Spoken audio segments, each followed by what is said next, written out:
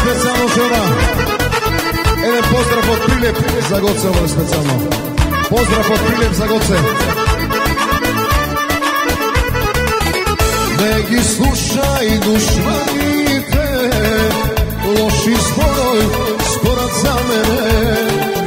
Дека супер пијаница, најголем скитик и пекрија. Дека су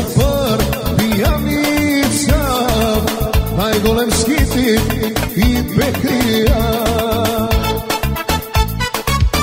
Neka puknu naši te dušmani, nema nikoj lično mome da me razdeli.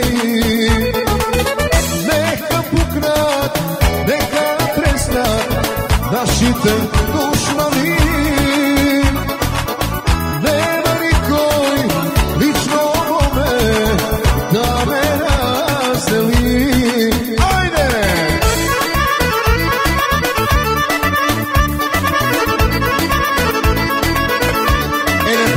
Goce specijalno, od Primjeta.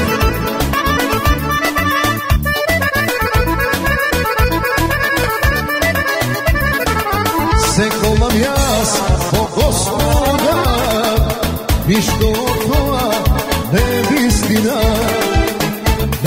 Zborat ostavi i koji nema da ne razdeli. Neka zborat ostavi i koji nema da ne razdeli. Neka puknat, neka tresnat, naši te dušmani.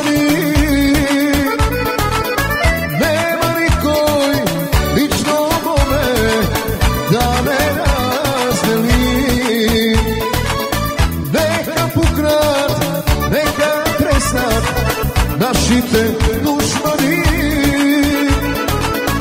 Nema nikoj lično mome da me razdeli. Skararama!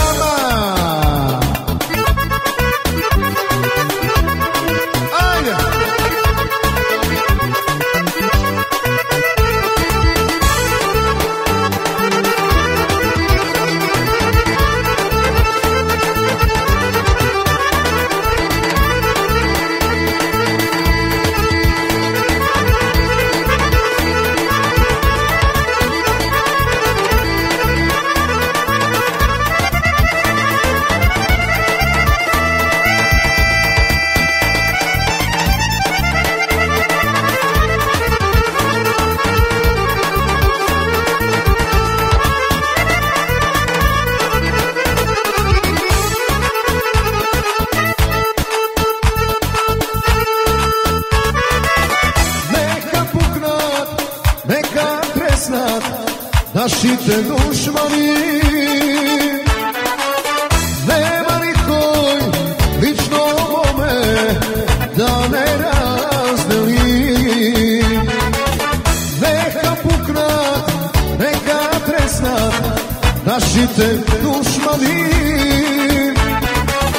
Nema